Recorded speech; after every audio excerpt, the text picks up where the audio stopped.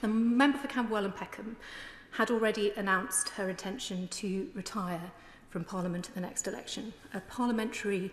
career that has spanned five decades and has been defined probably more than any other person who's ever sat in this house by her commitment to the advancement of women's rights.